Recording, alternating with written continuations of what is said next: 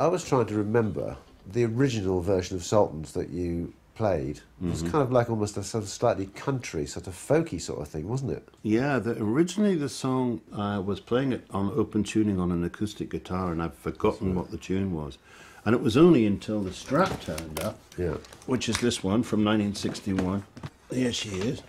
It was the nature of the sound that made me change the music all around. Yeah.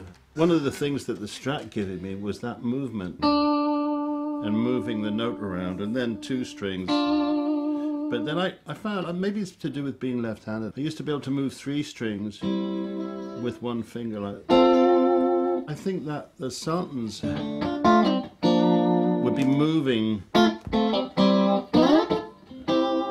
That was part of the sound, and I remember realizing that the thing was giving me a different set of music to the same set of lyrics.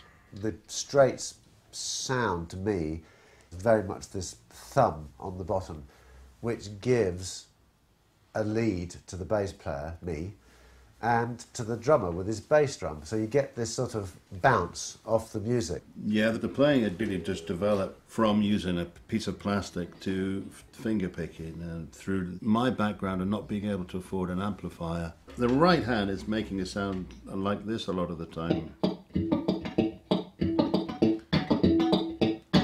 That becomes a feature. So even if you're just going.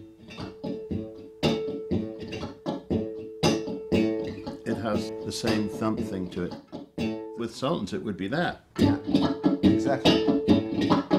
So I would always put another rhythm in.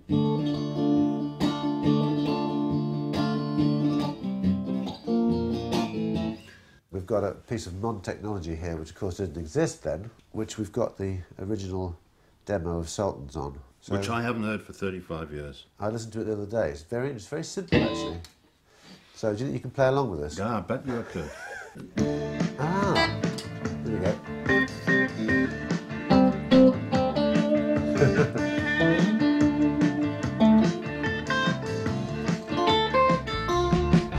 Get a shiver in the dark, it's raining. So Mark's third guitar is the iconic Fender Stratocaster, the very same model he gazed at in northern music shops all those years ago.